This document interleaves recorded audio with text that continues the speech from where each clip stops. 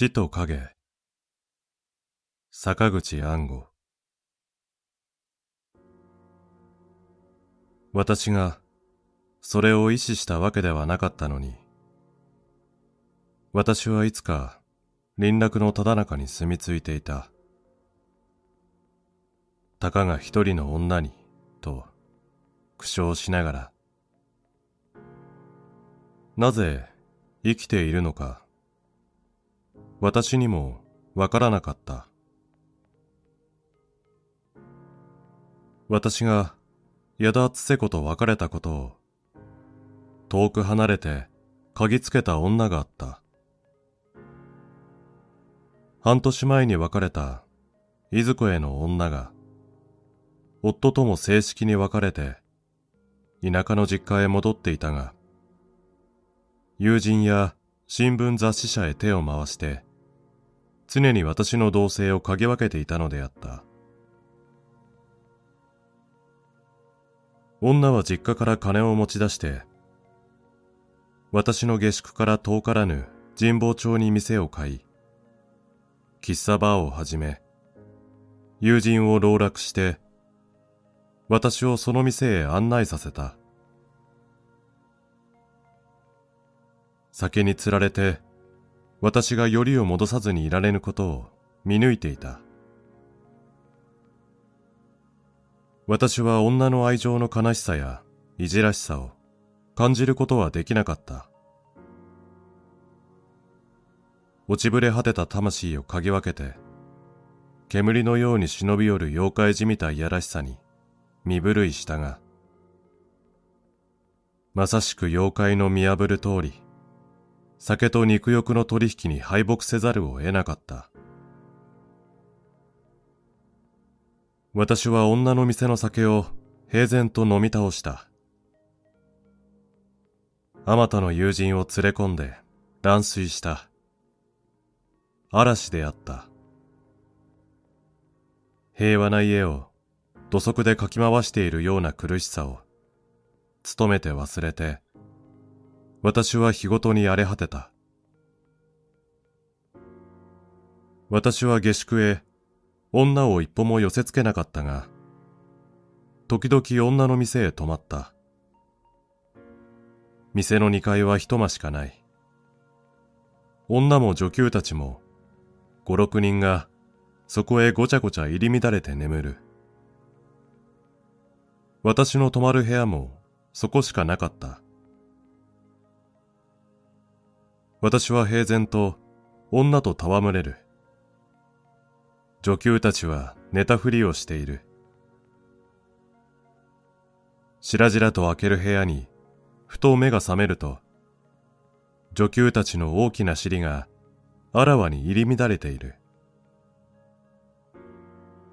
あの女給たちはズロースを脱いで眠るのである。彼女らは、あの男、この男と代わり番号に泊まり歩いて、店へ戻ると、堕胎の妙薬と称する液汁を飲み、ゲーゲー吐いているのであった。金のある時はいつもよそで遊んでいた。その遊び先で二人の珍妙な友人ができて、彼らは時々私の下宿へ遊びに来た。一人は、通称三平と呼ぶ銀座の似顔絵描きであった。三平はアルコール中毒で、酒が切れると、ブルブル震え、急いでコップ酒を引っ掛けてくる。時々、私と腰を据えて飲み出すと、さのみ私の酔わぬうちに泥酔して、操り人形が踊るような両手をめくらが歩くように前へ突き伸ばし、ぴょんぴょんと跳ねるような不思議な千鳥足となり、挙句に吐いて潰れてしまう。ほとんど食事をとらず、アルコールで生きているようなもので、そのくせ、一時に大量は無理のようで、衰弱しきっていたのである。三平はバーを回って水客の似顔絵を描く。飲み代を稼ぐと、さっさとやめる。必要の飲み代以上は決して仕事をしなかったが、人が困っているのを見ると、人稼ぎして、人にくれてやることは時々あった。夏冬一枚のボロ服だけしかなかったが、私を訪ねてくるときには、失礼だからと、秋の頃にも浴衣を着てくる。この浴衣は肩がほころびて、もげそうに垂れ、帯の代わりに紐を巻いているのであった。ボロ服の方がどれだけ人並みだかわからない。しかし三平はそうとは知らず、何しろ高級な下宿だからね。先生の保険に関わるといけねえから、この着物を着てくるんだ。俺は高級は窮屈で嫌いなんだ、と言っていた。三平は最低の生活に満ち足りていた。彼の姉が松戸に女給が20人近くもいる大きなカフェをやっていて、三平に支配人をやれとしきりに進めていたが、カフェは下船な職業だとひどく憎んで、にべもなく断り続けていたようである。知らない土地の交番では、必ず咎められる小敷の封鎖をして、しかし、彼の魂はへんてこりんに高かった。空襲の頃、神保町の古本屋を歩いていると、何年ぶりかで三平に会った。ボロボロの浴衣を着て、尻をはしょって、わらじを履いていた。それが彼の防空服装であった。戦争中も新橋のコップ酒屋に優先行列していたようだが、酒の乏しさに疲労している様子であった。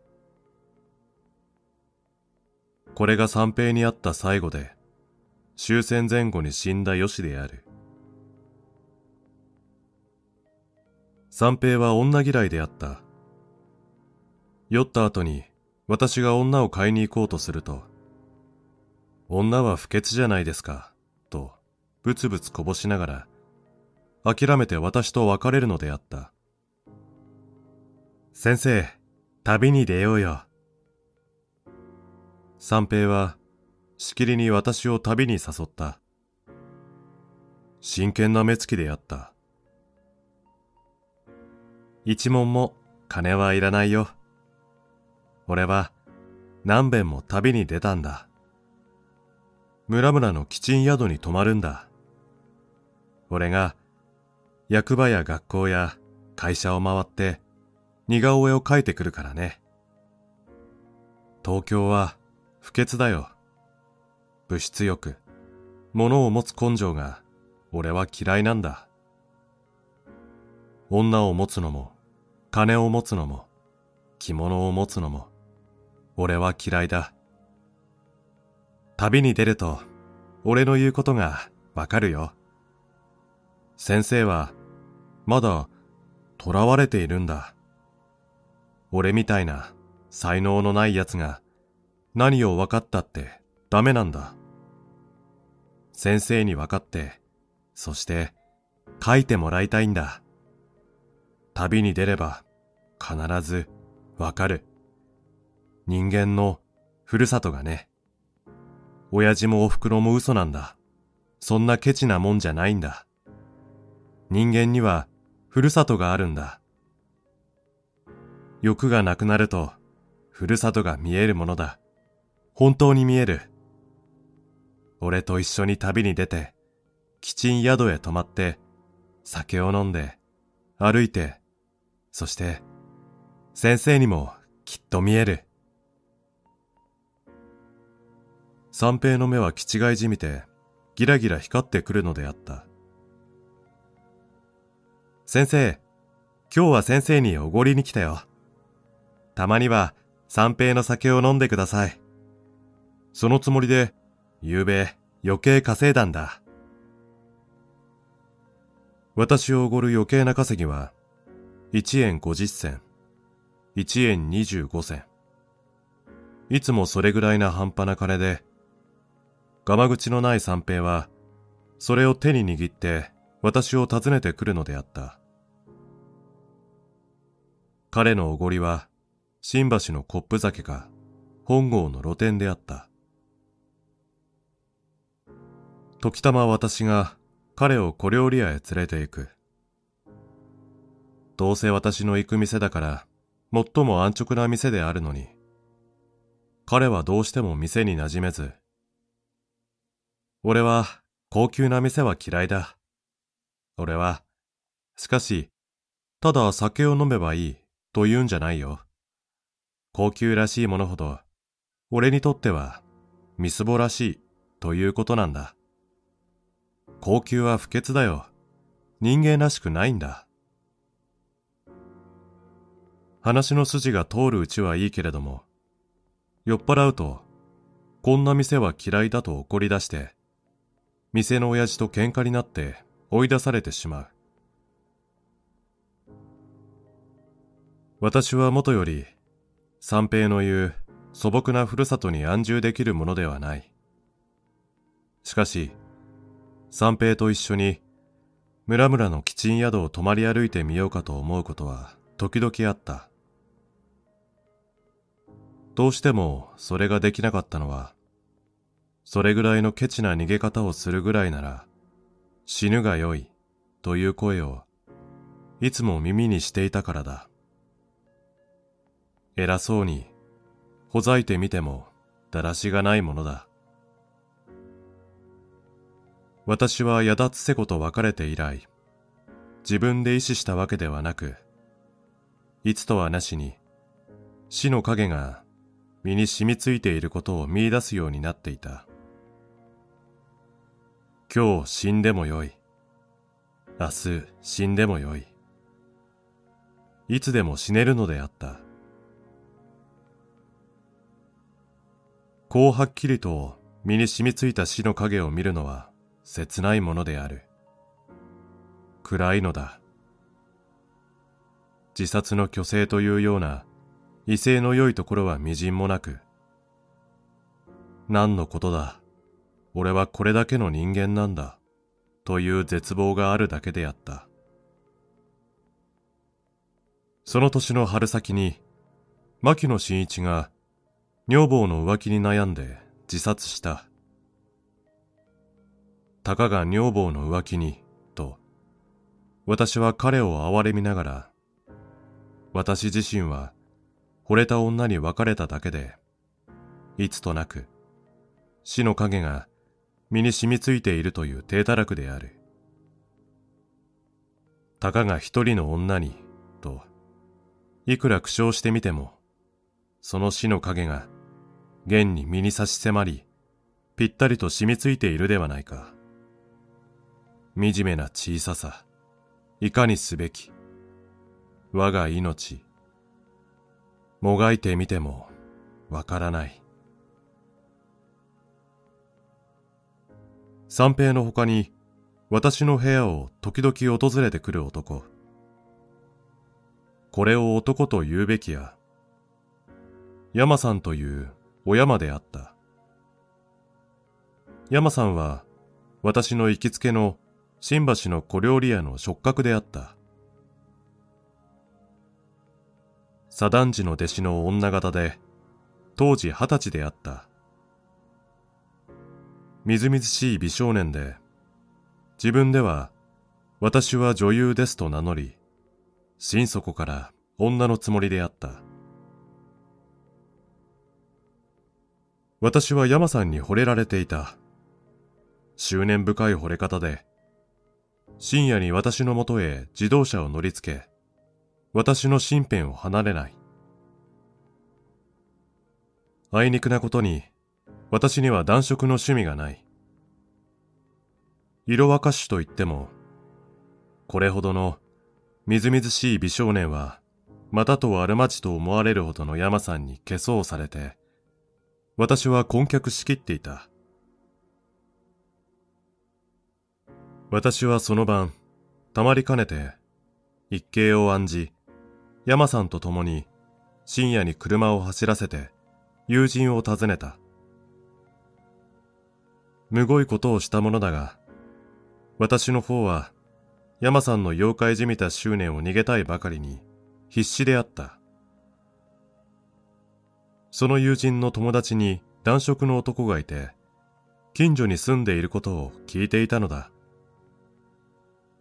この男色先生を呼んでもらい、男色先生と山さんを置き残して、私と友人は抜け出して、夜明かしの飲み屋で酒を飲んだ。そこから電話をかけてみると、山さんが電話にしがみついて、助けてください。殺されそうです。と、悲鳴を上げていたよしで、そのことがあってから、山さんも狂恋を慎み、大いに慎んで私に接するようになった。その後の山さんは、決して夜間は訪れず、昼、踊りや歌の稽古の帰りに立ち寄った。ちょうど私の部屋の下に知人の美学者がおり、特に日本の古典芸術を専門にしている人であったから、山さんを紹介した。山さんと二人だけで座っているのが耐え難かったからである。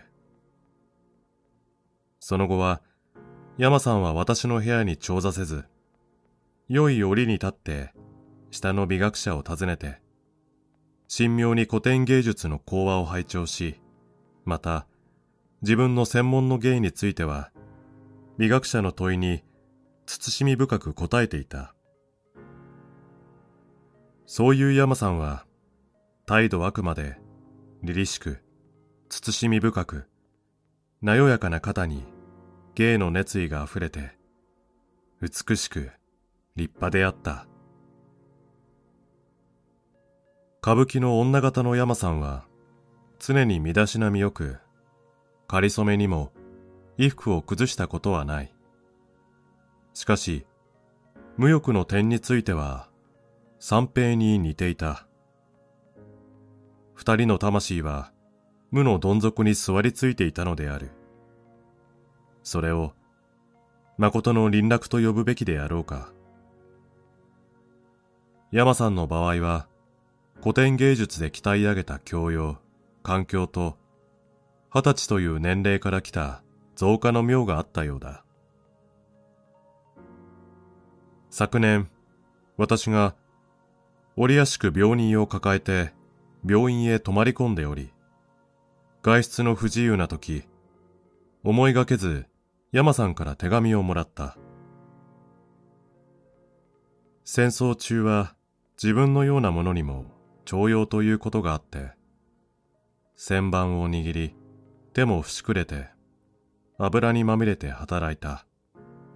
国にお勤めをした、というような、落ち着いて澄んだ心の伺われることが、たどたどしい文字で綴られており、今、宗十郎門下にいて、青年歌舞伎に出ているから、見物してくれと書いてあった。行ってみたいと思いながら、思うに任せず、未だに再会していない。山さんが私に書きくどいた言葉は、先生にお仕えしたいというたったそれだけの表現であった。古典芸術の伝統の中で育って、まだ二十歳の山さんは、古典の品位を身につけており、かりそめにもみだらではなかった。ただ、潤んだ目で私を見つめ、焦然として私のそばを離れない。男色を妖怪じみたものにしか返さぬ私に、そのありさまは少子であったが、しかし、お仕えしたいという言葉にこもる、己を虚しゅうした真珠には、胸を打たれずにいられなかった。確かに山さんの真珠はそれが全部で、我が身を虚しゅうして仕えるほかに、打算も取引の念もなかった。